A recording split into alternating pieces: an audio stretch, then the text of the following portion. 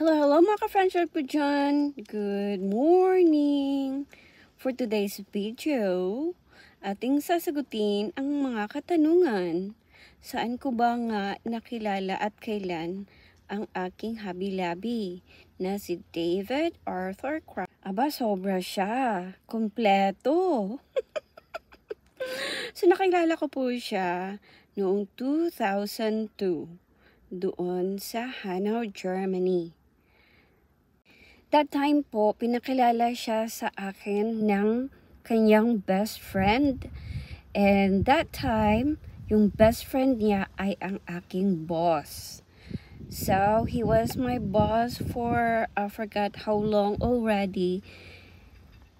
Tapos, Bago niya pinakilala sa akin pinakilala si siya Dave. Sa akin ng boss ko, at that time, he was working with a different company.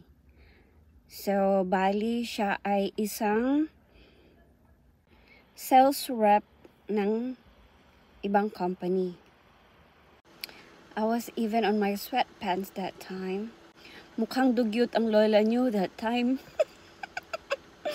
eh kasi pag nagtatrabaho ako as a uh, stalker, ganun lang kasimple. Uh, pants or sweatpants, tapos tennis shoes, and then bowl cup. Wala akong pakialam ko nung ayos ko pagdating sa trabaho ko as a stalker. Nag-aayos lang ako pag ako'y nagiging merchandiser. Ang dami-dami ng trabaho ng lola niyo. so, yung outfit ko, Dodger outfit talaga ha, ay inaayon ko naman sa trabaho ko, o diva. And then, after I think three years. Well, correct me if I'm wrong. Yun lang naalala ko. After three years, nagiging boss ko si Dave dahil yung best friend niya, which was my previous boss, ay promoted siya. So, as a best friend, sinabi niya kay Dave na siya yung ipapalit sa kanya. So in short, nagiging boss ko si Dave. At first, I did not like him because you know why? Hmm. He spoon-feed me. Eh, sa akin naman, mas matagal pa ako doon sa company na yun na yun kaysa sa kanya. And during my two previous bosses, pinabayaan nila ako kung anong gagawin ko alam ko nang gagawin ko. Pero pagdating sa kanya, talaga naman, napakadaming pinagawa. At saka napaka-stricto niya. Pagdating niya dyan sa store, sasabihin niya kaagad, so these are the checklist. This is 1, 2, 3, you have to do this, you have to do this, you must do this, you must, must do that. OMG, ganun siya. At alam ko naman ginagawa ko yung mga yun eh. Pero ang nagustuhan ko sa kanya ay napaka-professional niya. At saka he is so neat, neat and tidy pagka nagpupunta siya sa work. Or, you know, when nagpupunta siya sa store ko. Store ko talaga ha.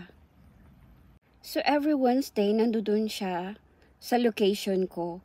And then every time he's there, palaging may listahan, things to do lists. Ayun ang ginagawa niya. Binibigay niya sa akin every Wednesday. And then, pag nandyan siya, puro na lang kami usap susunod na mga gagawin namin. This is, you must do this, you must do that. Ganun palagi siya. So, kaya medyo hindi ko siya gusto sa part na yun. Kasi nga yung mga previous bosses ko, hindi ganun sa akin. Basta darating sila dyan para lang kami magkakaibigan. Oh, Marian, how are you? How's your day? So, this is what we need to do next week. But, you know, we know that you already got it. Mga ganun-ganun pa yung mga boss ko dati. Pero si Dave, ang daming listahan. Kaya medyo hindi ko siya gusto sa part na yun. For me, kasi nga, For me, he is my boss. kung ano man yung mga pinag-uusapan namin, it's all about work. You know, to get along with our bosses o tsaka to know each other, yung mga ganyan-ganyan. So sa akin naman, lunch, lunch, lunch, wala yun talaga. As in, Yeah, professional talaga ang dating para sa akin. So, I go with them. Or I go with pero pala, nung nagtagal, napapansin na ng mga uh, workers sa store na meron pala siyang pagtingin daw sa akin. Pero never ko yung nakita. Promise. Hindi ko talaga yung nakikita. Dahil sa the way he talks to me, hindi naman bastos. Basta, ba, ano lang, so professional talaga. Puro lang trabaho ang pinag-uusapan namin. At saka yung mga panahon na yun, napakagulo po ng isip ko. Char, napakagulo ng isip. Palagi bang magulo? hindi naman. That time talaga magulo. Pero, hindi nila yun nakikita kasi palagi lang akong nakasmile. Oh. So, ang focus ko noon ay kung paano ko uh, igihin ang aking work para naman eh magkaka makatanggap ako ng bonuses kasi palagi nagbibigay ng bonuses sa work namin. And that time din kasi parang nagbabawas ng mga workers pero dahil sa maganda yung aking performance, kinikip ako ng vice president at sabi pa niya, wag akong tanggalin at kahit pa yung sweldo ko ay manggaling sa bulsa niya ay gagawin niya. O kita niyo na? Kaya nagpakatino talaga ako sa trabaho. Kaya nagpakatino talaga ako sa trabaho. Walang mga char, so, ano man yung mga nararamdaman niya, hindi ko yun napapansin. Char, gusto ko lang maayos yung trabaho ko at makapag sweldo ko ng malaki at may bonus ako. O anong sa inyo? Mukhang pera. And then when we go to lunch, ang mga pinag-usapan namin ay work Yung mga personal lahat. questions, walang ganun. Puro lang talaga work, work, work, work, work, work. you must do this, you must do that. Ganun siya. Ganun siya. As a boss. And also, sa work din, um, mga friends ko doon and the managers doon, ganun din sila sa akin eh. Mary Ann, do you want some coffee? Or Mary Ann, do you want this one? Do you want this and that? Do you have, do you, mga do you, do you, do you want, do you want? Ay ako naman, yes, yes, yes, yes, yes. So sa akin, normal sa akin yung mga nililibre ako. So sa akin, normal yung mga ililibre ako. Kasi, nagtatrabaho ako, lalapit na lang sila sa akin.